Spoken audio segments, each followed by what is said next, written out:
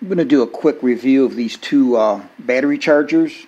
They're meant for the Kobalt 24 volt max batteries. They're lithium ion batteries. The um, charger that you see on your left came with a toolkit that I got. It is the model number KRC 2445-03. The one on your right I bought separately. Um, it's the model number KRC 2490-03. So the smaller charger that you saw on the left is rated at 45 watts output. The larger charger that was on the right is rated for 110 watts output.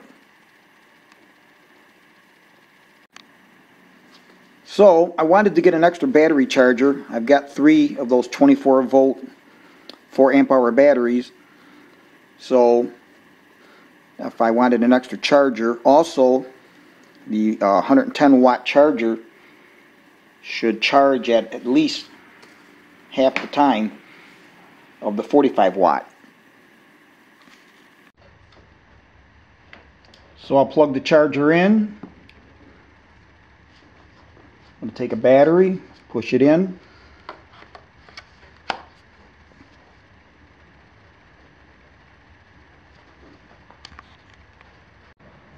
Let me plug the battery in, the charger.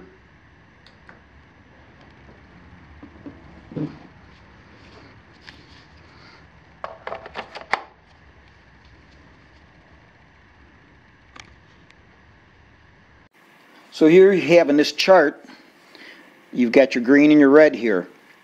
When it's flashing, as here, that means that the battery is charging.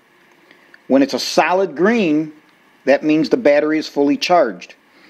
Now if you stick the battery in there and it goes to a red that's not flashing, that means the battery's too cold to charge.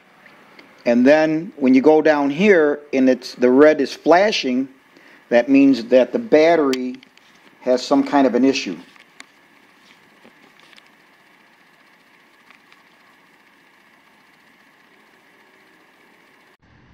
Both the 45 watt unit and the 110 watt unit charger come with a generous six foot length of uh, cord, electrical cord.